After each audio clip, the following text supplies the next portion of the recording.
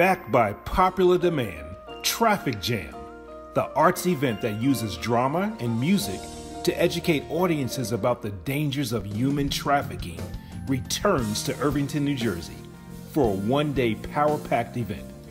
International singer and teaching artist Wincey Terry Bryant will be joined by her cast of professional actors and musicians in an epic stage play that combines the power of storytelling with games and giveaways.